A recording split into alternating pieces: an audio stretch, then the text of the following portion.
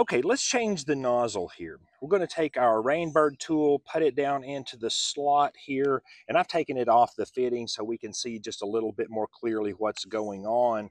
So we're going to put this down in here, turn it 90 degrees, and pull it up just enough to grab it. We're going to put it down in the nub here, the little raised part, and we're going to withdraw our screw so it's not holding the nozzle in any longer. Okay, and then you can put your screwdriver down in here and pop this out. Now also we want to take out our little tab up here that shows the gallons per minute, the nozzle size. We're going to put us a new one in there.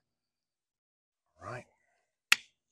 And so we have our nozzle tree here, which has a variety of options for us to choose from, and they are the gallon per minute sizes, and you see them here on the tab. So what we had in there is a two gallon per minute. So let's put a three gallon per minute on there. We're going to pull the nozzle off and the little tab.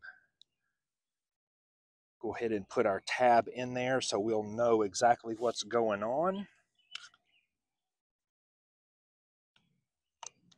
Turn it 90 degrees, pull it up enough to grab it. And there are tools that you can get that'll hold this shaft up if you don't have enough hand strength to hold it up there. It does have a little bit of strength to that spring, but if you can't hold it up, get you one of those little tools to hold it there. And so we're just going to run our screw back in enough to hold the nozzle in. I always like to turn it to the left limit. And then we're going to turn it back on and then make our adjustments from there.